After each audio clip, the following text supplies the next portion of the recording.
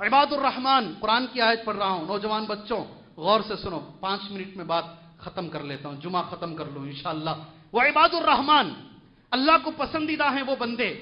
اللہ کو پسندیدہ ہیں، رحمان کو پسندیدہ ہیں وہ بندے۔ الذین یمشون علی الارض ہونا جو زمین پر سکون سے چلتے ہیں۔ کون سے بندے؟ زمین پر سکون سے چلتے ہیں۔ گاڑیاں اسپیڈ نہیں چلاتے۔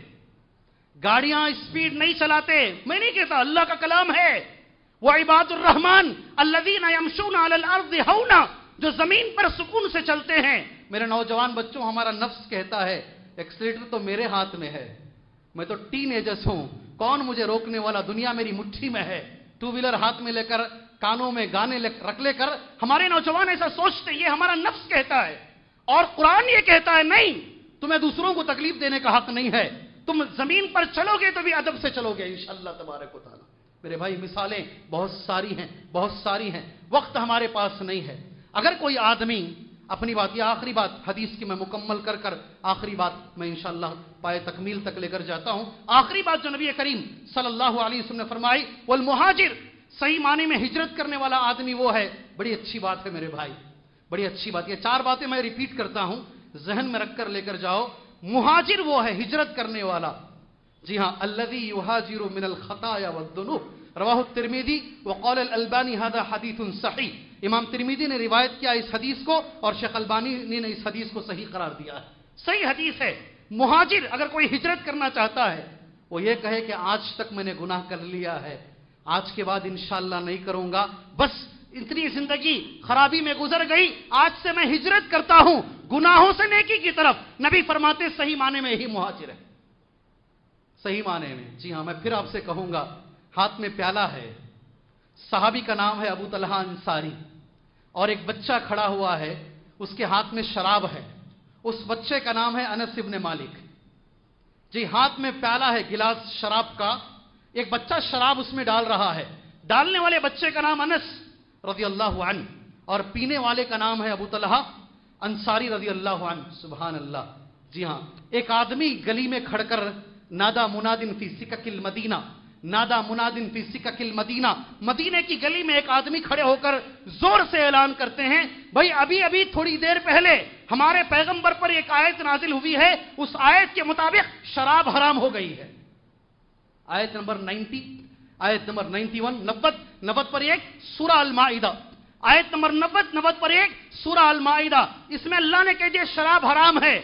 شراب گلاس میں آ چکی ہے، سبحان اللہ۔ جی ہاں پینے کی بس دیر باقی ہے۔ اللہ نے کہہ دیا، نفس کہتا، یہ گھونٹ تو لے لے، اندر بعد میں انشاءاللہ چھوڑ دیں گے۔ جیسے ہم کہتے ہیں، حضرت ابو طلحہ اٹھے وہ گلاس باہر لے کر گئے اور گلی میں جھکا دیا۔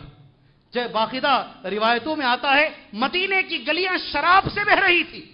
مدینے کی، میرا سوال یہ ہے ہزار بار ہم نے اس کو سنا ہے۔ ہم سگریٹ پیتے ہیں، ہم کیا کیا چیزیں کھاتے ہیں۔ سبحان اللہ، حرام ہے ہمارا نفس چاہتا ہے کھائیں، مگر اللہ کا حکم ہے، حرام ہے۔ کیا ہم آج چھوڑیں گے اسے؟ نہیں۔ سنیں گے ضرور۔ جمعہ، آج حضرت ذرا دبا کو دیے بھائی۔ ہماری زبان ایسی نہ ہے۔ ہمارے لوگوں کی زبان ایسی نہ ہے۔ آج حضرت ذرا دبا کو بولے بھائی۔ آج حضرت ذرا برابر بولے بھائی۔ ہم یہی کہیں گے، مگر چھوڑیں گے نہیں۔ ہم نے حدیث سن لی، ایک لاکھ چالیس ہزار صحابہ کے سامنے نبی نے فرمایا اور صحابہ سنتے ہی عمل کرنے والے تھے۔ میری آپ سے گزارش اللہ کے لیے۔ آہستہ ایک ایک گناہ کر کر چھوڑو۔ ایک وقت آئے گا انشاءاللہ تعالی۔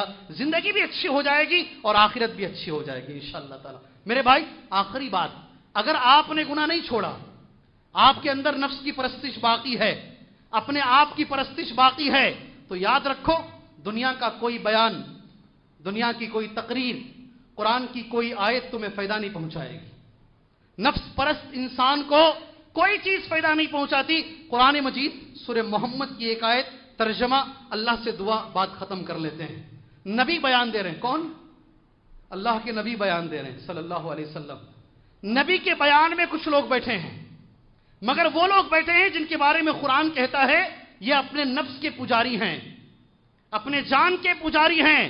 یہ کسی کی نہیں سنتے۔ یہ عادت ان کے اندر موجود ہے، بیان نبی کا سننے کے بعد۔ باہر نکلتے ہیں اور آپس میں ڈسکس کرتے ہیں بیان کے بارے میں۔